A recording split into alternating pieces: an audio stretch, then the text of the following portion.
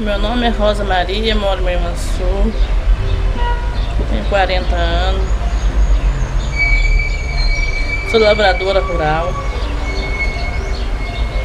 Em 97 perdi a minha casa. A prefeitura não reconstruiu a minha casa. E eu tô precisando de ajuda. Meus filhos ficam com o pai deles. E eu estou morando de favor.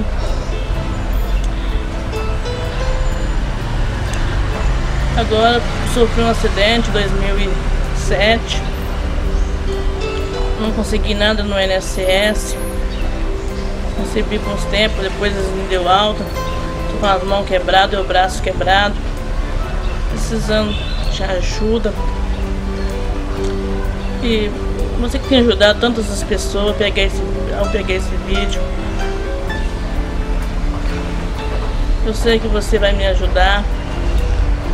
Poder ter mais contato com a minha família e ter realizar meu sonho da casa própria. Também um sonho que eu tenho também é de ser atriz. E que preciso também de um, uma ajuda para poder fazer o curso de artista. E eu já agradeço desde já.